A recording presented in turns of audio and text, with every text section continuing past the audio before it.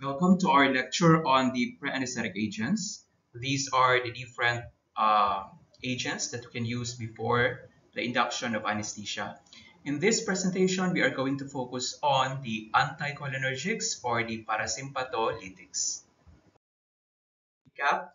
These are the different classes of pre-anesthetic agents that are used before the induction of anesthesia. Uh, these include the anticholinergics or the parasympatholytics. We also have the tranquilizers, the sedatives, and the opioids.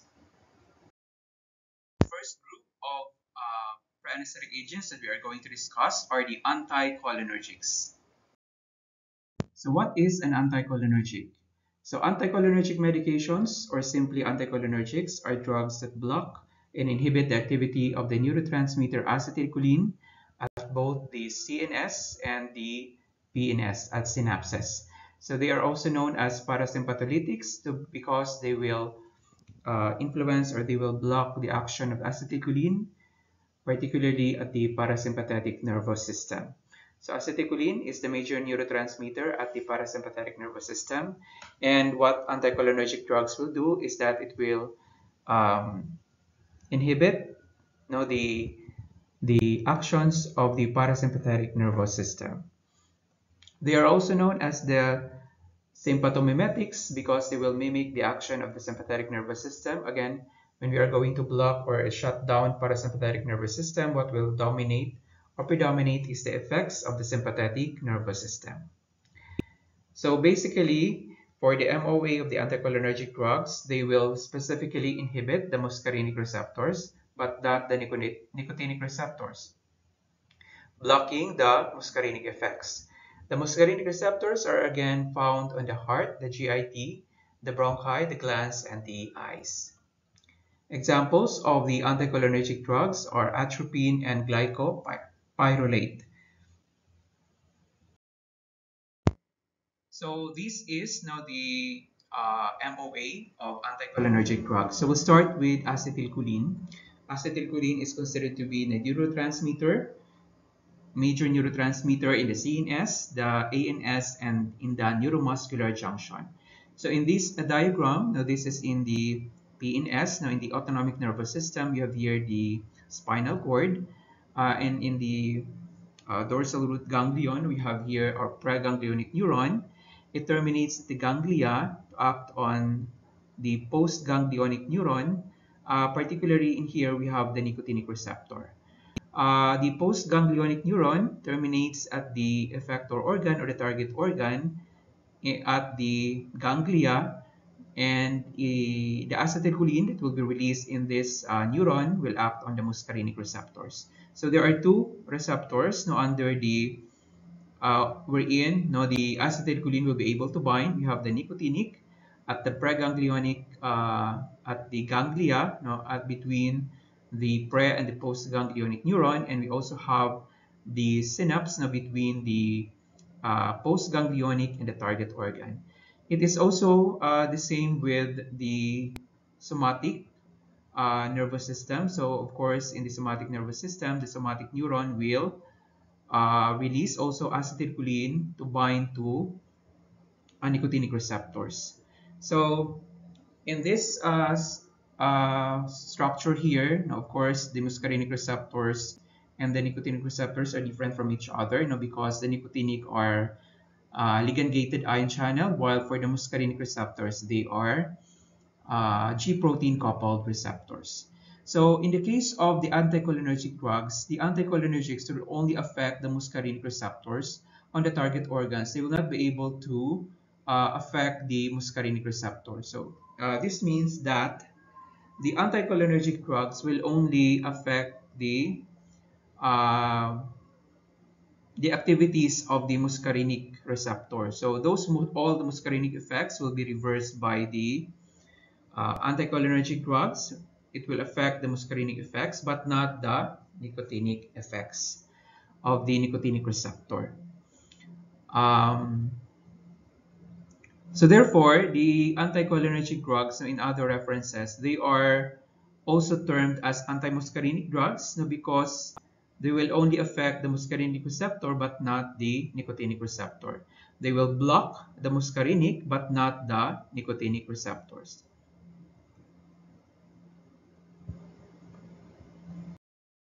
This slide will talk about the pharmacodynamics and the pharmacokinetics of the anticholinergic drugs. So again, uh, the anticholinergic drugs are group of drugs, a group of pre-anesthetic drugs that will basically, now what it does is it will induce parasympathetic blockade. So this means that it will basically shut down you the parasympathetic nervous system or the effects of the parasympathetic nervous system. Of course, that happens by blocking you the, uh, the neurotransmitter acetylcholine. So that is why they are also known as anticholinergic drugs. So if you think about it, uh, the this group of drugs will block no the parasympathetic nervous system no kaya nga tinawag siya na parasympatholytic. So of course when it will block the parasympathetic nervous system, what uh, will predominate or, or what will take place or what will take over is the sympathetic nervous system. Again, when we say uh, sympathetic, that goes along with the fight or flight response or those are the responses that are essential uh, for survival, no? and that happens during, uh, for example, emergency cases. So again, pag uh, parasympathetic, that is uh, rest and rest and digest, and live and let live. When we say sympathetic, that is more on the uh, fight or flight. So these drugs will again shut down the parasympathetic nervous system so, so that the sympathetic nervous system will predominate. So uh, one of the indications of the anticholinergic drugs or the parasympathetic drugs is that they will prevent and decrease bradycardia or decrease in the heart rate. So if you have an animal with serious bradycardia, then if we administer an anticholinergic drug, it will block the parasympathetic nervous system and uh, the heart rate will start to uh, go up after treatment with parasympatholytic drugs. Another indication is uh, it will decrease the salivary secretions. So again, no, as a review of the parasympathetic nervous system, so what it does in the body is that it is uh, beneficial for those resting activities like digestion. So if your animal is trying to digest food, they are going to produce a lot of secretions. So for example, in the GIT, you know, as well as in the salivary gland. So we can decrease those secretions by administering parasympatholytic drugs. So why might that be a good thing for an animal undergoing anesthesia? So uh, this is important. Uh, the administration of the anticholinergic drug as a pre-anesthetic during uh, surgery or during um, undergoing uh, for those animals undergoing anesthesia is that uh, the patient will not be, will not uh, develop aspiration of the saliva during the the induction of the anesthesia or during uh, anesthesia. Thus, we basically dry out a little bit the secretions of the salivary gland. So we decrease or we reduce the uh, salivary secretions. That is why the anticholinergic drugs are also known as the anti-sialagogue drugs or anti-sialagogue now because they will decrease the secretions of the salivary gland or they will uh, decrease no, yung salivation. So this is again this is important in order to prevent the aspiration of saliva during anesthesia. There are again two uh, common uh, types of anticholinergic drugs. These are atropine and glycopyrrolate, and they are usually used in dogs and cats. In terms of the route of administration, so these are the routes of administration that where atropine can be administered. So we have the IV, IMSC. So these these are parenteral routes as well as the intratracheal, no intratracheal route. So usually the intratracheal route is um, indicated no, during emergency cases. Um, we also have the uh, pharmacokinetics of atropine and glycopyrrolate. So why would you choose one over the other? Why would you choose atropine and why would you choose glycopyrrolate? So of course, it will depend on the situation and it will depend on the uh, purpose of that particular uh, surgery, for example. In, uh, in the case of atropine, in terms of its onset of action, so it has a faster onset of action compared to that of glycopyrrolate. In terms of its peak activity, so it has a shorter peak of activity and a shorter duration. So when, uh, when would you want to use something that works really quickly, such as atropine? Of course, if you wanted to, you wanted a drug uh, that works really quickly in cases when there are emergency. If it's an emergency, you're always going to use atropine unless you are dealing with horses or rabbits. So these two uh, species, horses and rabbits, are uh, they are not recommended to be given with parenteral atropine. No? Because in the case of um, horses, they are especially more sensitive to the parenterally administered atropine. And for, uh, for example, uh, administration of um, sub, uh, subcutaneous atropine to horses can lead to paralytic effect, especially on the GIT. It can cause severe colic or severe abdominal pain. Uh, it is also contraindicated in rabbits now because uh, rabbits produce atropine esterase. This is an enzyme that will degrade atropine and make the product inactive. So in the case again of horses, uh, topical atropine instead of the parenteral atropine is being used in order to uh, decrease no, the intestinal motility and abdominal pain in horses. So in the case of the glycopyrrolate, it has a slower onset of action. It has a longer peak of longer peak activity and a longer duration compared to that of atropine. So for glycopyrrolate, now you have the time to let the uh, the effect of this drug kick in after being administered. So it's going to last longer compared to that of atropine. So uh, if you are dealing, for example, with uh, with a horse or rabbit, we don't want to give atropine to, so glycopyrrolate can be indicated in this purpose uh, for horse and rabbit. And uh, if you have, for example, a surgery that will take longer, so you can prefer glycopyrrolate instead of atropine. So most of the surgeries of course, when we are going to talk about surgeries, now, most of the surgeries that we do are short duration. Uh, if, for example, if that is a minor surgery, so uh, we can uh, use again atropine in that case, no, because it has uh, atropine has a shorter duration compared to that of glycopyrrolate. But if you want a longer duration of action from your anticholinergic, if you're going to uh, conduct a major surgery, you're going to do some, for example, orthopedic procedure that will take a while, then you might choose glycopyrrolate. So atropine is usually enough for most of the surgeries. But of course, the most commonly used is atropine. So this slide now will compare the atropine and the glycopyrrolate. So both drugs now can be given subcutaneously or uh, IM as a, for pre-anesthetic purposes or it can also be given IV for emergency treatment of bradycardia and cardiac arrest. So atropine is generally preferred for emergencies due to its quicker onset of action compared to that of glycopyrrolate. In terms of the specific onset of action and the duration of action for uh, IM atropine, so its onset of action is about 5 minutes after administration. It peaks at 10 to 20 minutes and its duration of action is about 60 to 90 minutes. Uh, of course, when it will be given IV, it will be faster.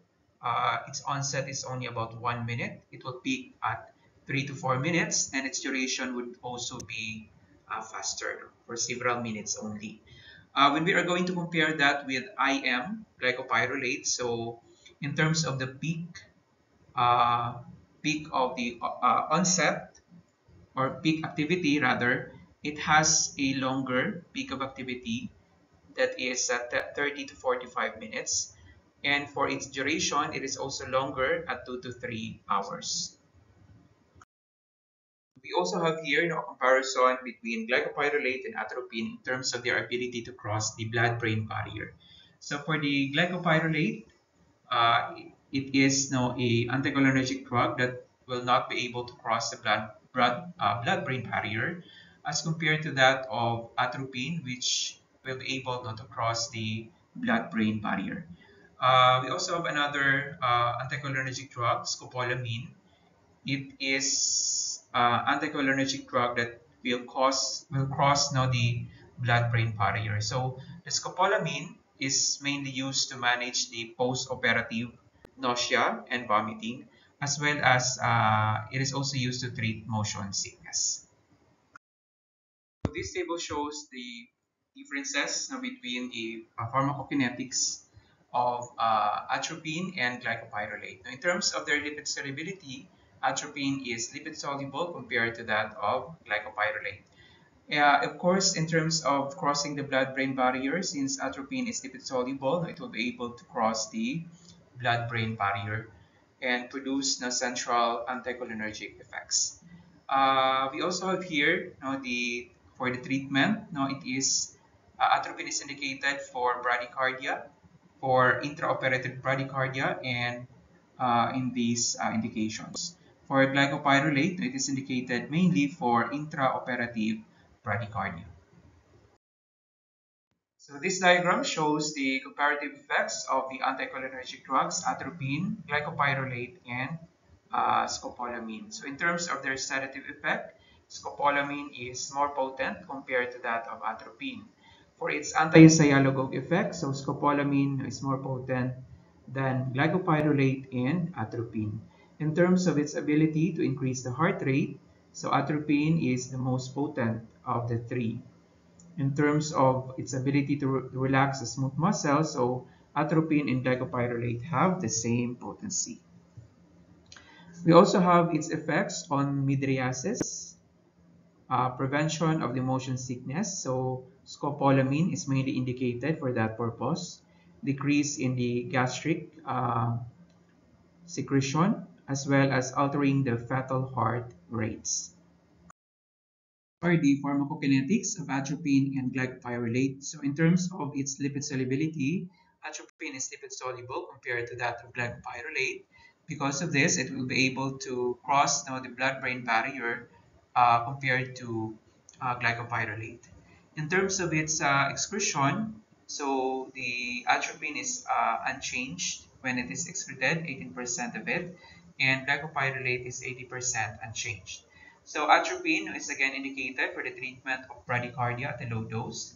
It is also indicated for intraoperative bradycardia. The same is true with glycopyrrolate. Are the anticholinergic effects produced by the anticholinergic drugs on different body systems?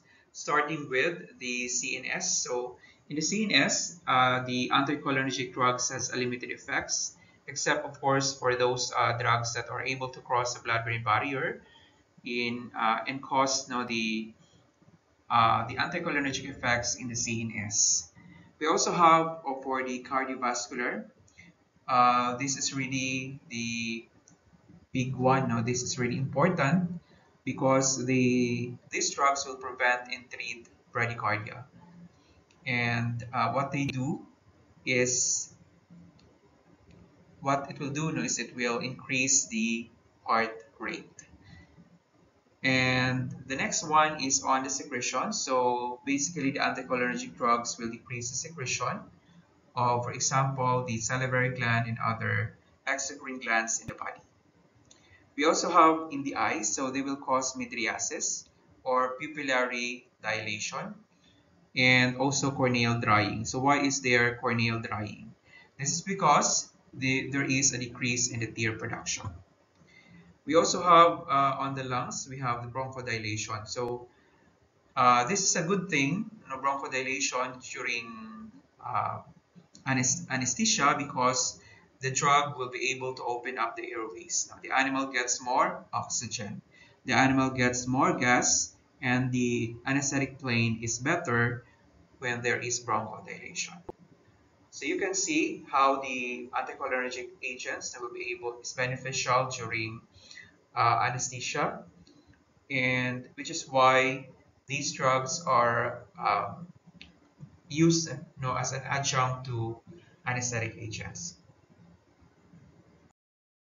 These are the uh, adverse effects of anticholinergic agents.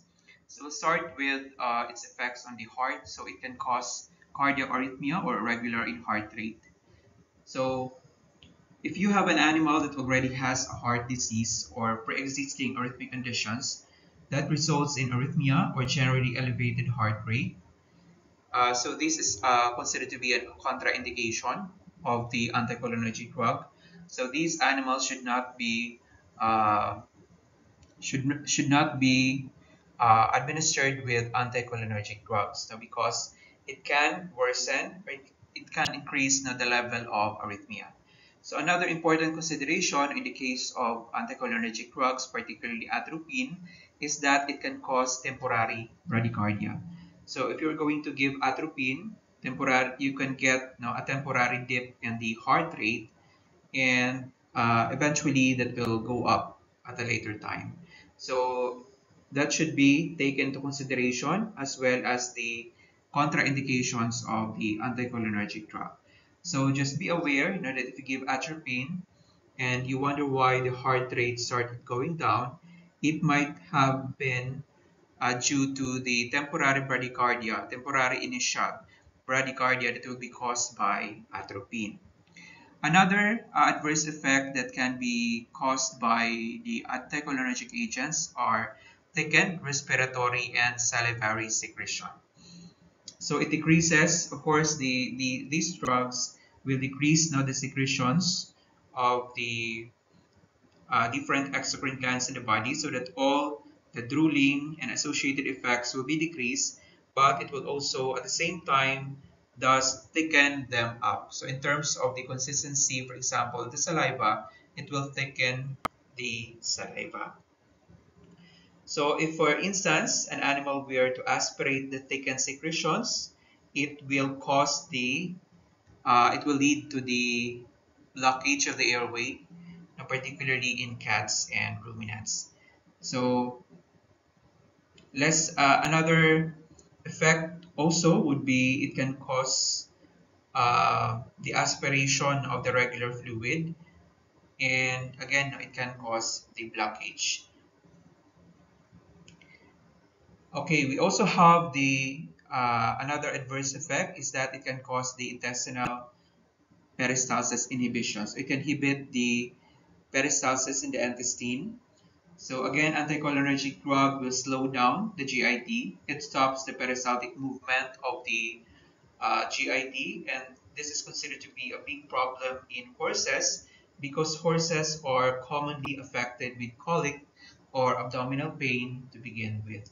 So horses and rabbits. So one reason that we want to avoid atropine is that, of course, they can vomit. They're very prone to GI tract stasis. So if the GIT stops moving, it is much more uh, bigger problem in horses and rabbits than it is in other animals. So you can also get bloat in ruminants. Now, when uh, there is the inhibition in the GIT uh, movement or peristalsis due to the administration of anticholinergic drugs. Pharmacological effects of uh, anticholinergic drugs, particularly atropine. So again, uh, these drugs are classified as sympathomimetics and they will mimic the action of sympathetic nervous system. So the first one is on the heart, will increase the heart rate. It will induce tachycardia. So what uh, what it does is, of course, it will block you know, the receptor, uh, muscarinic receptor in the heart, and it will also block the stimulation of the vagus nerve. The vagus nerve is it has a parasympathetic innervation. It will stimulate, it will innervate the heart to produce parasympathetic effect or a slowing of the heart rate. So there are different factors that can stimulate the vagus nerve during anesthesia and cause decrease in heart rate. So one of that is when you are going to do endotracheal intubation. Another is handling of the abdominal organs in surgery and other anesthetic agents. Additionally, atropine protects the heart, no, but care should be taken because it uh, tachycardia can occur. So this uh, drug should not be used in patients with congestive heart failure or hyperthyroidism or if an animal is tachycardic before anesthesia. Atropine no, is also important because it will decrease the salivation during uh, anesthesia or surgery. So of course, it is uh, atropine is considered to be a anti-sialogogue because now it will decrease the salivation. So some agents can cause increased salivation, for example, ketamine, and this can be problematic when trying to intubate the patient and can even compromise the airway.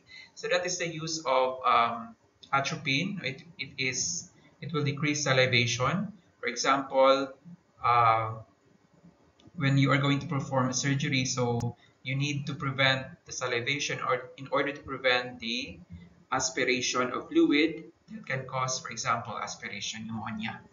Another uh, effect of atropine or anticholinergic drug is that it, it will reduce the uh, GI activity. No, it will inhibit peristalsis, whereas other agents can cause flatulence, vomiting, and diarrhea.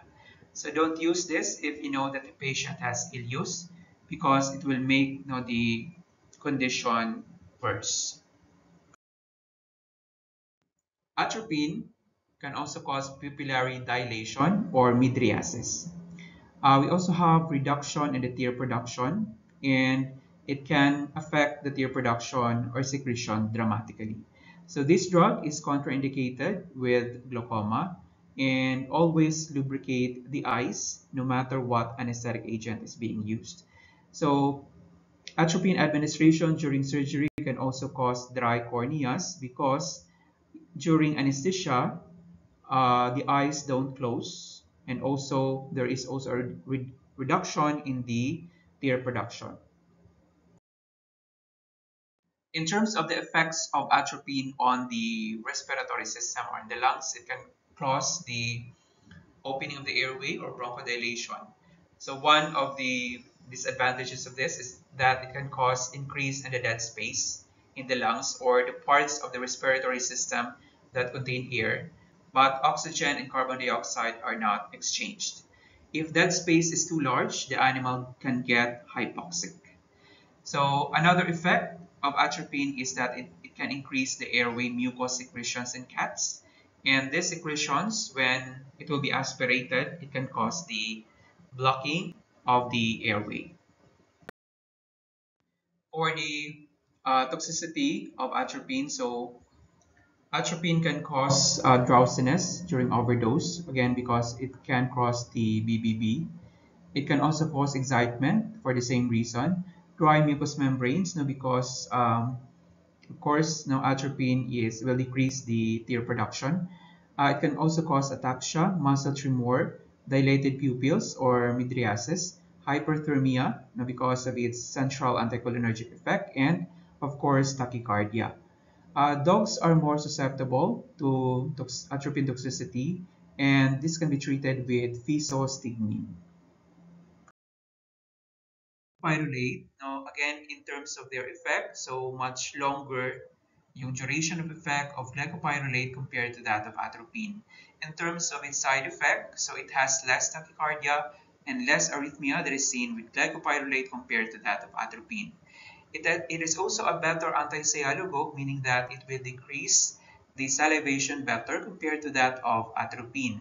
It is more expensive and it is safer for pregnant animals. In terms of the treatment of bradycardia, so atropine is better at properly treating this uh, condition because again, atropine has a faster onset of action.